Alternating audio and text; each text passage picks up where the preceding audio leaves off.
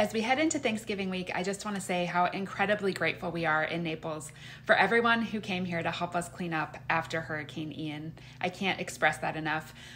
Our, our beaches are still a little bit battered, but when you come off the beaches, we are back to the sunny resort lifestyle that we are known for here in Naples. Our country clubs are full of people playing golf and tennis and pickleball, and the pools are well attended. It's a lot of fun to show property right now in these neighborhoods because there are just a lot of people here enjoying this sunny playground that we call home, and you could too. Uh, so I hope you all have a great Thanksgiving full of loved ones and good vibes, and I will see you later.